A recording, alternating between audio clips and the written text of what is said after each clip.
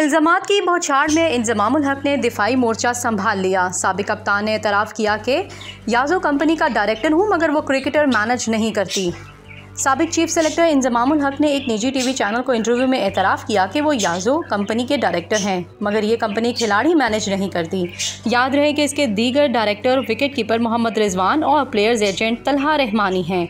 इंजमाम पर मफादात के टकराव का इल्ज़ाम लगा था। उन्होंने कहा, अगर बोर्ड मुझे अहदा देने से पहले कुछ भी डिक्लेयर करने का कहता तो मैं ज़रूर करता। मुझे इल्म था कि इस कंपनी की कोई ट्रांजेक्शन ही नहीं है। मैंने अपने वकील के ज़रिए दो रोज़ कबल बोर्ड को ख़त लिखा है, जो कमेटी बनाई गई है, इसने अभी तक मुझे बुलाया नहीं है। मैंने कहा कि मुझे बुलाकर पूछा जाए तलहा रहमानी दोनों कंपनीज़ के डायरेक्टर हैं। इनको क्यों नहीं बुलाकर पूछा गया? याजो कंपनी हमने कोरोना के दिनों में बनाई थी। हम इसके ज़रिए अमेज़ोन पर साइकिलों की हेलमेट बेचना चाहते थे। बिज़नेस करने की कोशिश कर रहे थे, मगर हमसे हुआ ही नहीं।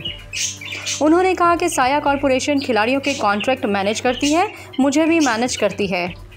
ब्रांड इंडोर्समेंट का भी काम करती है। सेंट्रल कॉन्ट्रैक्ट के लिए फ़ैसला जून में हुआ, मैं इस वक्त नहीं था।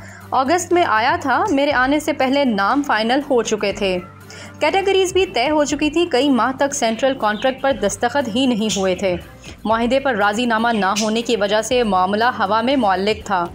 मुझे आए एक माह हुआ था, बोर्ड ने मुझे मुदाखलत का कहा।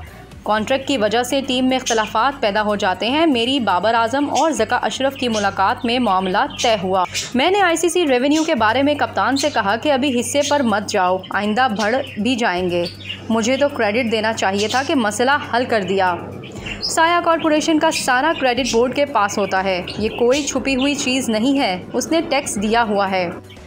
साया के पास जो क्रिकेटर्स हैं, वो पहले भी थे। क्या बाबर आज़म, मोहम्मद रिजवान, शाहीन शाफरीदी या दीगर क्रिकेटर्स मेरी वजह से खेलते हैं? जब मैं चीफ सेलेक्टर नहीं था, ये तब भी खेल रहे थे।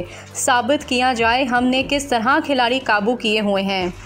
दोबारा अहदा संभालने के सवाल पर सबक कप्तान ने कहा कि मुझे जब चीफ सेलेक्टर बनने की पेशकश की गई तो मैंने कहा कि पहले तीन साल इस अहदे पर रहा तो दिल में पाँच टन डल गए थे।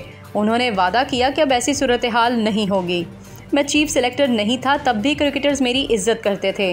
मैंने किसी को काबू नहीं किया हुआ। मुझे रसवा करने की कोशिश ना करें। मुझे लोगों ने कहा था कि सबने इनकार कर दिया तो आपने चीफ सेलेक्टर का अहदा क्यों कबूल किया? अब मानता हूँ कि मुझसे गलती हुई है।